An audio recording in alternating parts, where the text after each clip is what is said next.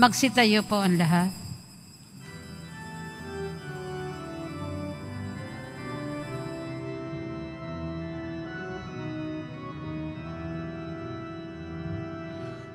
Panginoon ay purin, ngalan niya ay dakilain.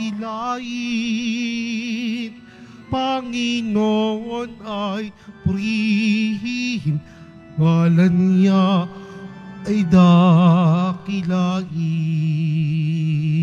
Panginoon, ikaw ang may likha ng langit, dagat at lupa, ng buwan, araw at mga bituin, tanang nilalang sa papawirin.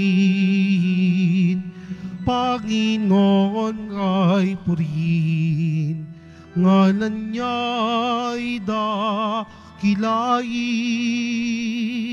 Panginoon ay purin, ngalan niya ay dakilain.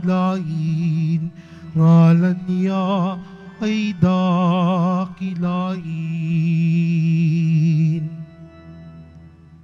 Sa ngalan ng Ama at ng Anak at ng Espiritu Santo, Amen. sumainyo ang Panginoon. At sumaiyo rin. Mga kapatid, aminin natin ang ating mga kasalanan upang tayo ay maging marapat gumanap sa banal na pagdiriwang. Inaamin ko Sa makapangyarihang Diyos at sa inyo mga kapatid, nalubha akong nagkasala sa isip, sa salita at sa gawa at sa aking pagkukulang. Kaya isinasamo ko sa mahal na Birheng Maria, sa lahat ng mga anghel at mga banal, at sa inyo mga kapatid, na ako'y ipanalangin sa Panginoong ating Diyos. Kaawaan tayo ng makapangyarihang Diyos.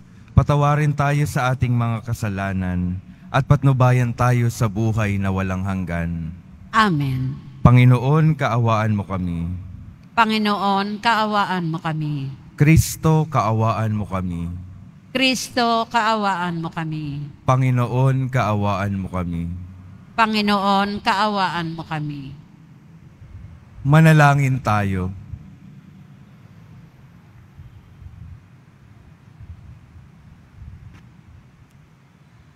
Ama naming makapangyarihan, ang langit at lupa ay iyong pinamamahalaan. Dinggin mo ang pagluhog ng iyong sambayanan at pagkalooban mo kami ng kapayapaan araw-araw. Sa pamamagitan ni Heso Kristo, kasama ng Espiritu Santo, magpa sa walang hanggan. Amen. Magsiupo muna ang lahat.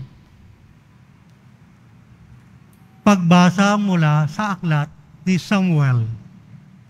Noong mga araw na iyon, sinabi ni Samuel kay Saul, Pakinggan mo ang sinabi sa akin ng Panginoon kagabi. Ano iyon? Tanong ni Saul. Sinabi ni Samuel, Noong una, ikaw mismo ang nagpakilalang ikaw ay hamak.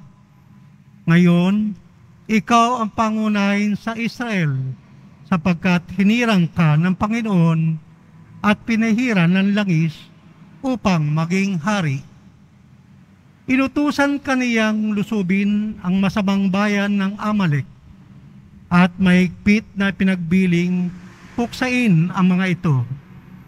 Bakit mo sinuway ang utos ng Panginoon? Bakit mo pinag-imbutan ang mga ito? Hindi mo ba alam na ang ginawa mo'y malaking kasalanan sa Panginoon? Sumagot si Saul. Sinunod ko ang Panginoon. Pumunta ako sa pinapupuntahan niya sa akin. Binihag ko si Agag na hari ng Amalek at nilipol ang mga Amelsita. Pinili ng mga tao ang pinamakaiinam sa mga tupa at baka at hindi naman pinatay na kasama ng iba. Bagkos ay inuwi namin sa Gilgal upang ihandog sa Panginoon. Sinabi ni Samuel, Akala mo ba'y higit na magugustuhan ng Panginoon ang handog at hain kaysa pagsunod sa Kanya? Ang pagsunod sa Kanya ay higit sa handog at ang pakikinig ay higit sa haring taba ng tupa. Ang pagsuway sa Kanya ay kasing sama ng pangkukulang at ang katigasan ng uloy tulad ng pagsamba sa Diyos-Diyosan. Pagkat sinuway mo ang Panginoon, aalisin ka sa pagiging hari ng kanyang bayan. Ang salita ng Diyos. Salamat sa Diyos. Ang masunurin sa Diyos ay sasakipin niyang lubos. Ang masunurin sa Diyos ay sasagipin niyang lubos. Hindi ako nagagalit dahilan sa inyong handog, ni sa inyong mga haing sa dambanay sinusunog. Bagamat ang mga toro'y hindi ko na kailangan, maging iyang mga kambing at ang inyong mga kawan. Ang masunurin sa Diyos ay sasagipin niyang lubos. Bakit ninyo inuusal yaong aking mga utos? At bakit ang paksa ninyo ay sa tipan natutungod? Pag kayo ay tumutuwid, agad kayong napopuot. At ni ayaw na tanggapin yaong aking mga utos. Ang masunurin sa Diyos ay sasagipin niyang lubos. Kahit ito ay ginawa, hindi kayo alumana. Kaya naman ang akala, kayo't ako'y magkaisa. Ngunit ngayon, panahon ng kayo'y aking pagwikaan, upang inyong maunawaan ang ginawang kamalian, ang parangal na nais ko na sa aking iyahain ay handog ng pasalamat, pagpupuring walang maliw, akin namang ililigtas ang lahat na masunurin. Ang masunurin sa Diyos ay sasagipin niyang lubos. Magsitayo po ang lahat.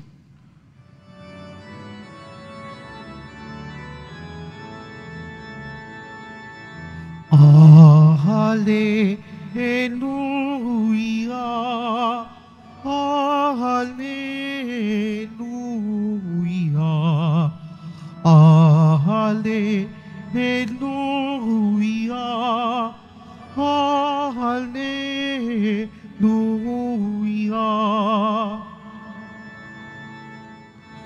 Buhay ang salita ng Diyos.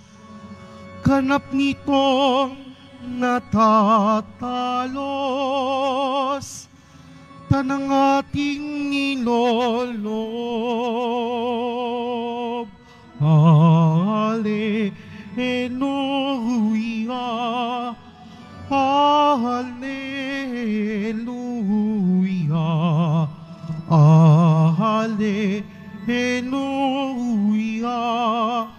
Hallelujah.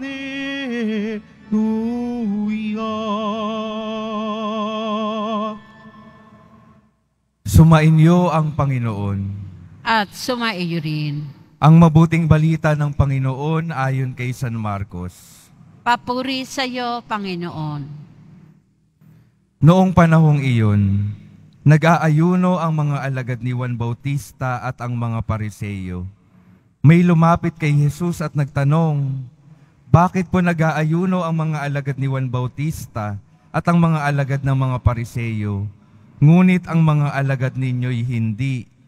Sumagot si Jesus, Makapag-aayuno ba ang mga panauhin sa kasalan, samantalang kasama nila ang lalaking ikinasal? Hindi. Kapag wala na ang ikinasal, saka pa lamang sila mag-aayuno. Walang nagtatagpi ng bagong kayo sa lumang kasuotan. Pag-urong ng bagong kayo, mababatak ang luma at lalong lalaki ang punit. Wala rin namang nagsisilid ng bagong alak sa lumang sisidlang balat, sapagkat papuputokin ng alak ang balat, kapwa masasayang ang alak at ang sisidlan. Bagong alak, bagong sisidlang balat. Ang mabuting balita ng Panginoon. Pinupuri ka namin, Panginoong Heso Kristo. Magsiupo muna ang lahat.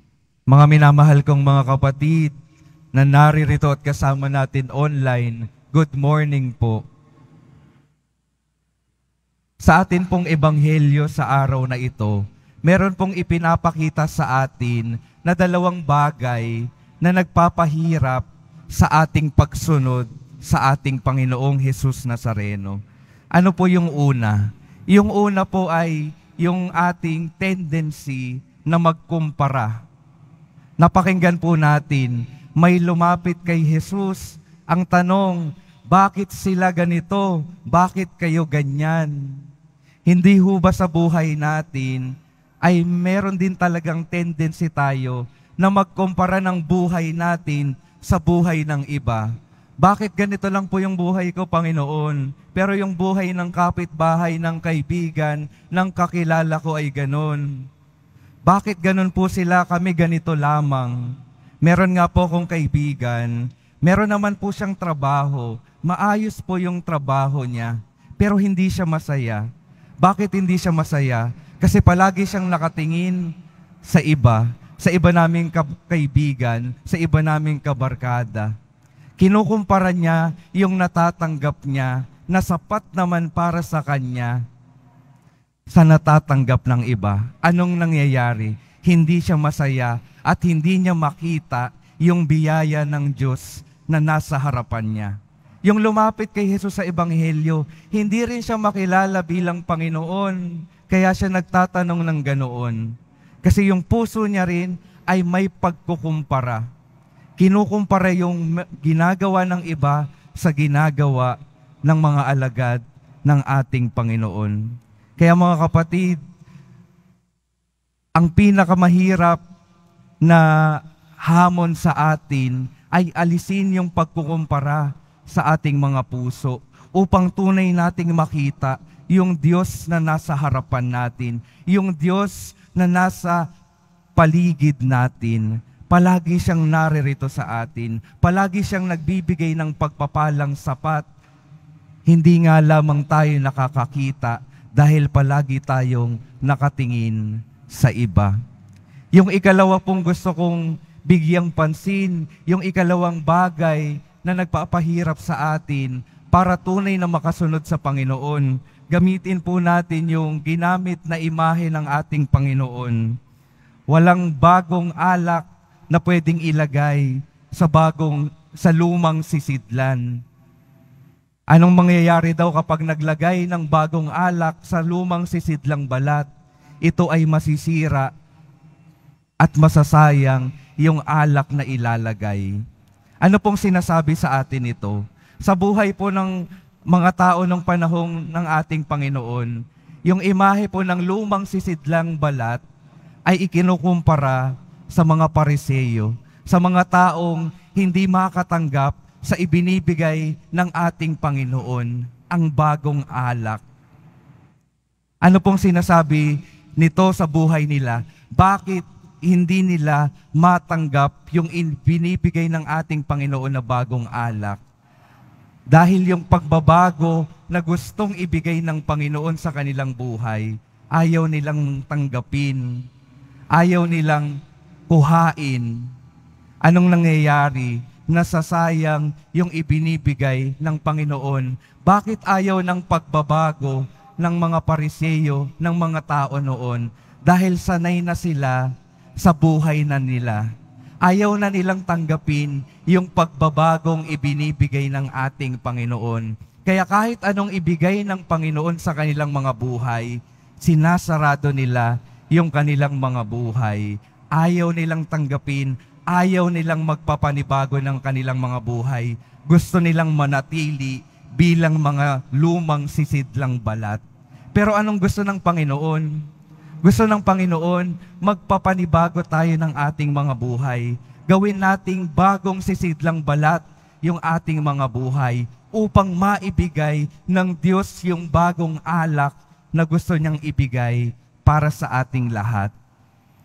Mga kapatid, ang imbitasyon sa atin upang tunay na matanggap yung gustong ibigay ng ating Panginoon, maging bagong mga tao tayo, baguhin natin yung ating mga buhay upang tunay na makat, makapasok yung ating Diyos, yung pagpapala ng Diyos, yung turo ng Diyos sa ating mga buhay. Alam po natin, marami na tayong mga nakasanayan sa mundong ito. Kung minsan o kaya naman madalas, yung mga bagay na nakasanayan natin ay hindi naman maganda para sa ating mga buhay. Hindi naman maganda para sa mga buhay ng ating mga kapwa.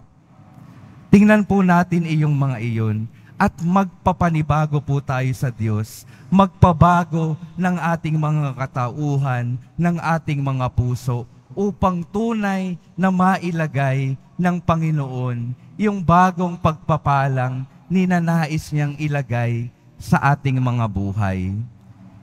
Yun po yung dalawang imbitasyon para sa atin upang tunay na masolusyonan natin yung mga nagpapahirap sa atin sa pagsunod sa ating Panginoon. Una, pagbubukas ng ating mga mata sa Diyos na nasa harapan natin, sa Diyos na nagbibigay ng pagpapala sa harapan natin. Huwag na tayong magkumpara. At ikalawa, hayaan natin na ang Diyos magpapanibago ng ating mga puso, magpapanibago ng ating mga buhay upang yung bagong pagpapalang gusto niyang ibigay sa bawat isa sa atin, makarating sa atin ng, ng matiwasay, makarating sa ating mga buhay. At anong mangyayari kapag hinayaan natin na makita yung Diyos sa harapan natin? Anong mangyayari kapag hinayaan natin na tayo ay patuloy na bigyan ng mga bagong pagpapala ng ating Panginoon? Yung ating Panginoon, tunay nating madadala sa ating mundo. Tunay natin siyang madadala sa ating mga kapwa. Tunay nating maipapadama sa bawat isa yung pagpapala ng Panginoon na lubos niyang gustong ibigay sa bawat isa sa atin. Amen. Tumayo po ang lahat.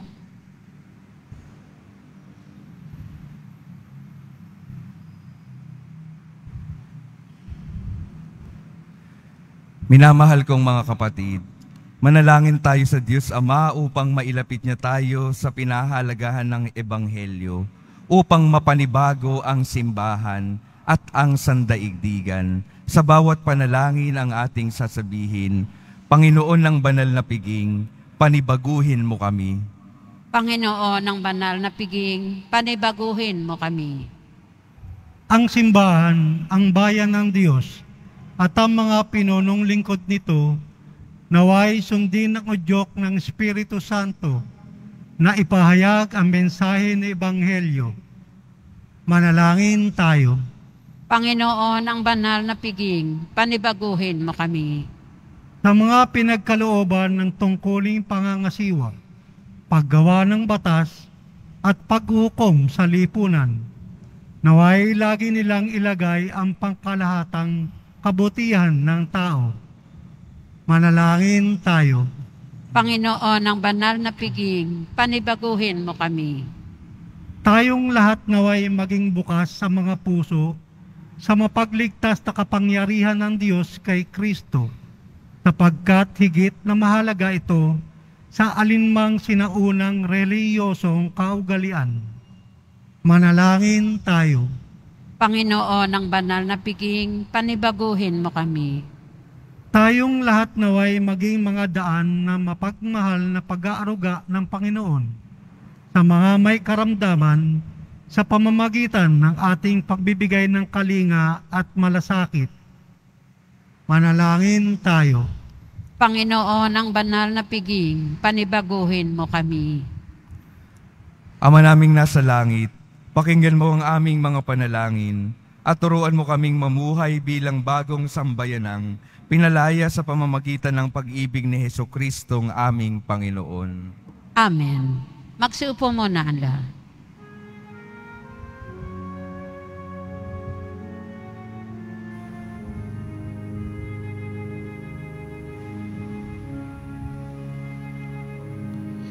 Itong alak at tinapay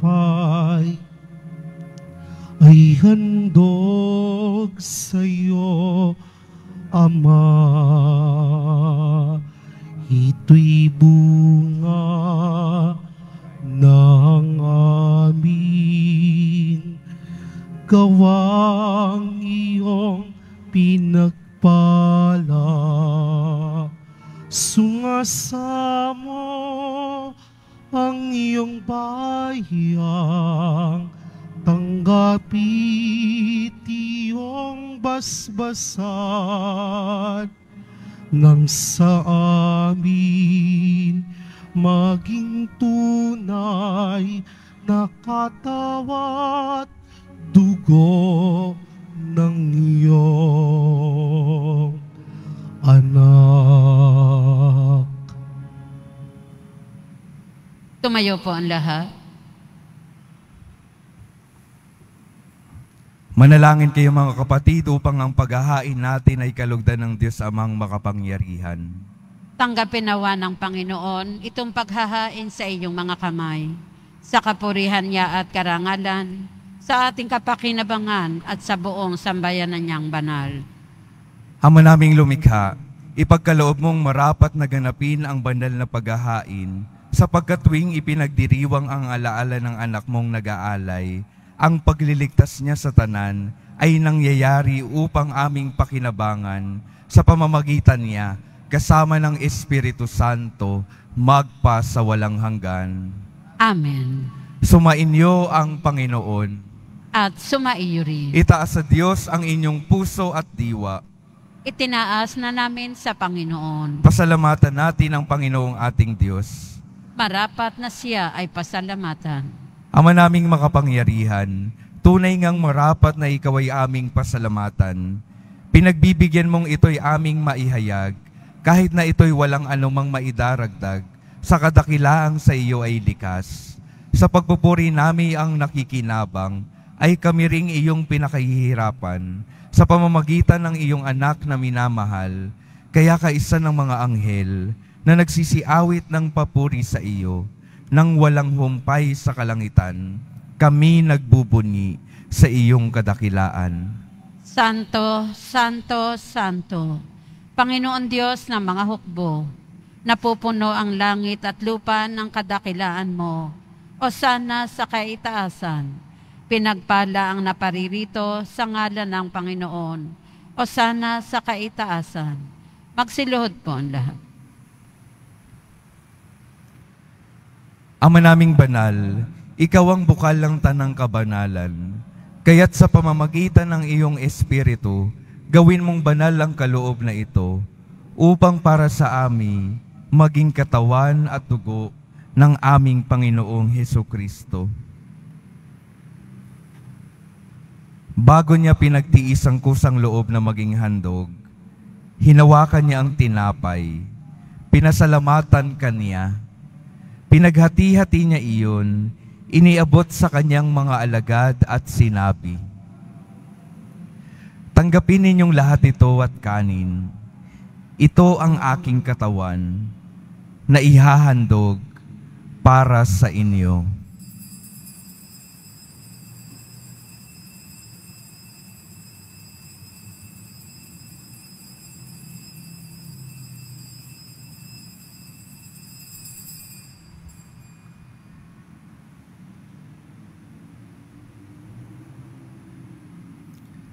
Gayon din naman nung matapos ang hapunan, hinawakan niya ang kalis, muli kanyang pinasalamatan. Iniabot niya ang kalis sa kanyang mga alagad at sinabi, Tanggapin ninyong lahat ito at inumin. Ito ang kalis ng aking dugo, ng bago at walang hanggang tipan. Ang aking dugo na ibubuhos para sa inyo at para sa lahat sa ikapagpapatawad ng mga kasalanan. Gawin ninyo ito sa pag-alala sa akin.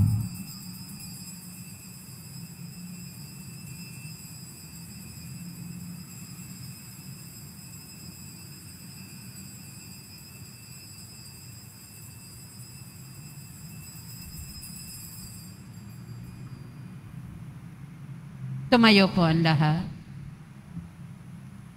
Ipagbunyi natin ang misteryo ng pananampalataya. Si Kristo'y namatay, si Kristo'y nabuhay, si Kristo'y babalik sa wakas ng panahon. Ama, ginagawa namin ngayon ang pag-alala sa pagkamatay at muling pagkabuhay ng iyong anak. Kaya't iniaalay namin sa iyo ang tinapay na nagbibigay buhay at ang kalis na nagkakaloob ng kaligtasan. Kami nagpapasalamat dahil kami iyong minarapat na tumayo sa harap mo para maglingkod sa iyo. Isinasamo namin kaming magsasalo-salo sa katawan at dugo ni Kristo ay mabuklod sa pagkakaisa sa pamamagitan ng Espiritu Santo. Ama, lingapin mo ang iyong simbahang laganap sa buong daigdig. Puspusin mo kami sa pag-ibig. Kaisa ni Francisco na aming Papa at ni Jose na aming Obispo at ng Tanang Kaparian. Alalahanin mo rin ang mga kapatid naming nahimlay nang may pag-asang sila'y muling mabubuhay. Gayon din ang lahat ng mga pumanaw. Kaawaan mo sila at patuloyin sa iyong kaliwanagan. Kaawaan mo at pagintabatin kaming lahat na makasalo sa iyong buhay na walang wakas. Kaisa ng mahal na Birheng Maria na ina ng Diyos, ng kabiyak ng puso niyang si San Jose, kaisa ng mga apostol, ni San Juan Bautista, at ng lahat ng mga banal na namuhay dito sa daigdig ng kalugod-lugod sa iyo maipagdiwang nawa namin ang pagpupuri sa ikararangal mo sa pamamagitan ng iyong anak na aming Panginoong Heso Kristo. Sa pamamagitan ni Kristo kasama niya at sa Kanya, ang lahat ng parangal at papuri ay sa iyo, Diyos amang makapangyarihan, kasama ng Espiritu Santo, magpa sa walang hanggan. Amen. sa tagubilin ng mga nakagagaling na utos at sa turo na ni Jesus na Panginoon natin at Diyos, ipahayag natin ng lakas loob. Ama namin, sumasalangit ka. Sambahin ang ngalan mo. Mapasa amin ang kaharian mo. Sundin ang loob mo dito sa lupa para nan sa langit. Bigyan mo kami ngayon ng aming kakanin sa araw-araw at patawarin mo kami sa aming mga sala para ng pagpapatawad namin sa nakakasala sa amin. At huwag mo kaming ipahintulot sa tukso at iadya mo kami sa lahat ng masama. Hinihiling namin kami iadya sa lahat ng masama. Pagkalooban ng kapayapaan araw-araw, iligtas sa kasalanan at ilayo sa lahat ng kapahamakan samantalang aming pinananabikan ang dakilang araw ng pagpapahayag ng tagapagligtas naming si Heso Kristo. Sapagkat iyo ang kaharian at ang kapangyarihan at ang kapurihan magpakailanman. Amen. Panginoong Heso Kristo, sinabi mo sa iyong mga apostol, kapayapaan ang iniiwan ko sa inyo, ang aking kapayapaan ang ibinibigay ko sa inyo. Tunghayan mo ang aming pananampalataya at huwag ang aming pagkakasala. Pagkalooban mo kami ng kapayapaan at pagkakaisa ayon sa iyong kalooban, kasama ng Espiritu Santo, magpa sa walang hanggan. Amen. Ang kapayapaan ng Panginoon ay laging sumainyo. At sumaiyo rin. Magbigayan kayo ng kapayapaan sa isa't isa.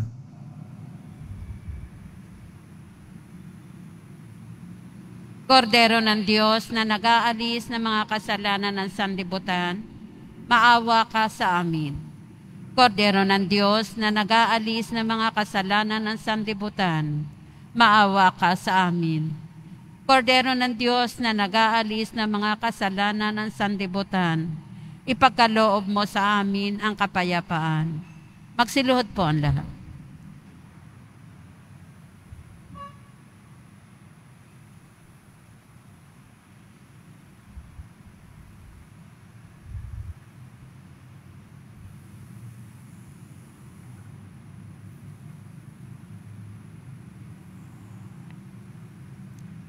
Ito ang kordero ng Diyos. Ito ang naghaalis ng kasalanan ng sanlibutan. Mapalad ang mga ina niyayahan sa kanyang piging. Panginoon, Hindi ako karapat-dapat na magpatuloy sa iyo. Ngunit sa isang salita mo lamang ay gagaling na ako.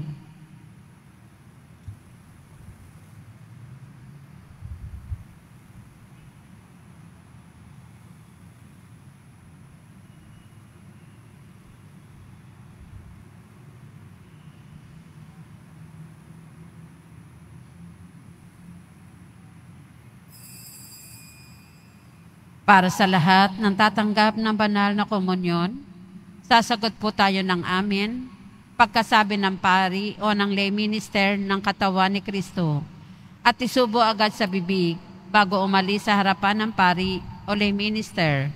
Sumunod po tayo. Maraming salamat po.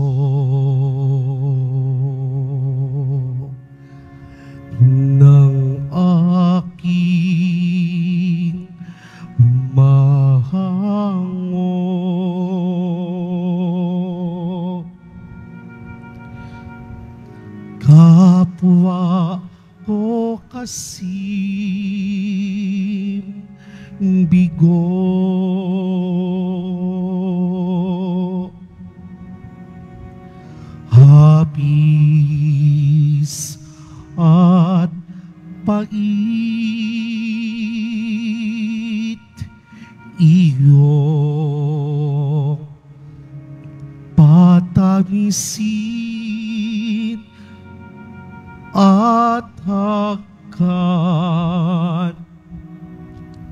ang sakit ng agningas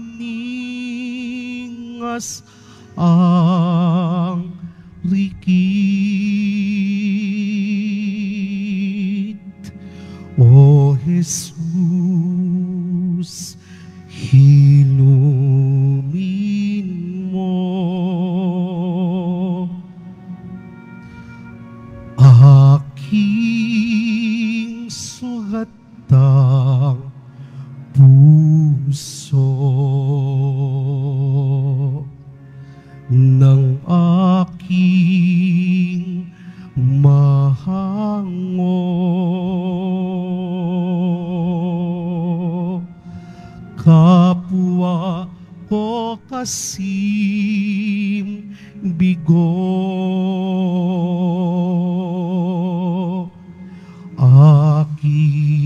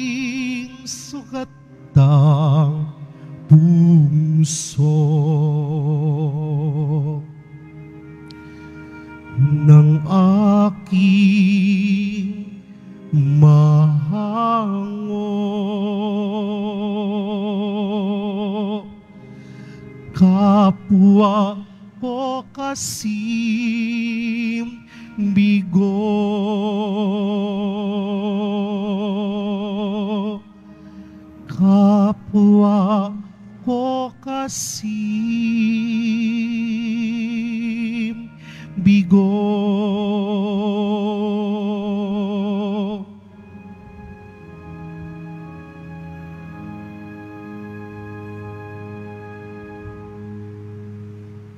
Announcement. Inihahandog po ng simbahan ng Quiapo ang Nazareno Medallion. Ito po ay nakakahalaga ng 20 pesos. Mabibili, lim- mabibili pa rin po ang ating opisyal na imahe ng Jesus Nazareno. Ang large size ay nakakahalaga ng 2,500 pesos. Ang medium size ay 1,000 pesos at ang small size ay 600 pesos. Ang mga ito po ay mabibili lamang sa ating Paris Finance Office. Ang malilikom po na pondo ay gagamitin sa pagsasaayos ng ating Adoration Chapel at Baptistry. Ang mga oras ng Finance Office ay ang mga sumusunod. Kapag lunes hanggang huwebes at sabado, 8 a.m. to 5 p.m.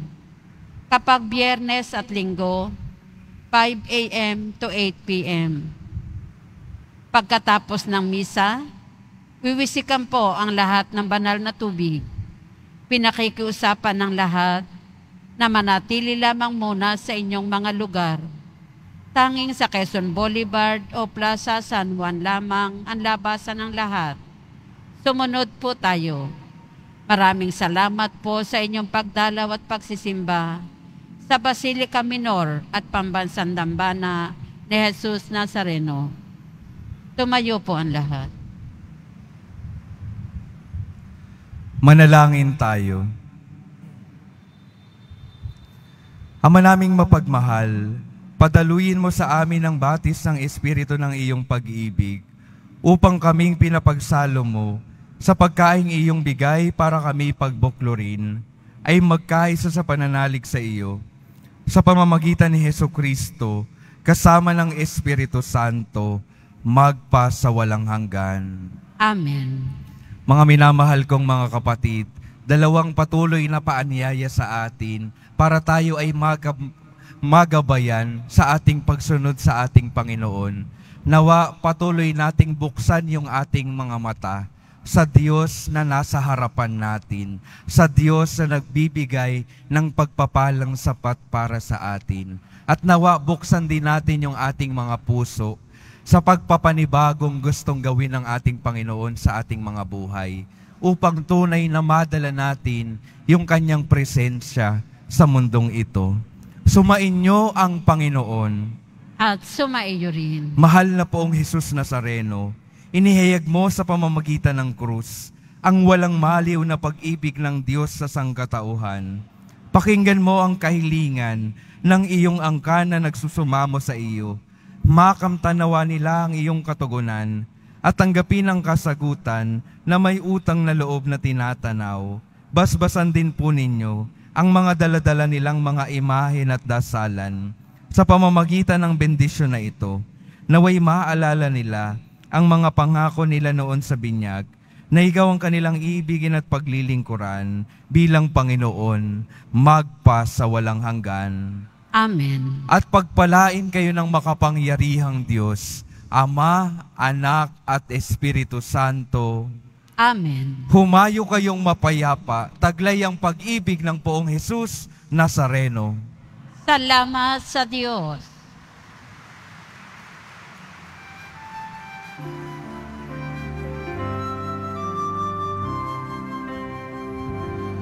Nuestro Padre Jesus Nazareno, sinasamba ka namin. Pinipinto ka namin. Aral mo ang aming buhay at kaligtasan.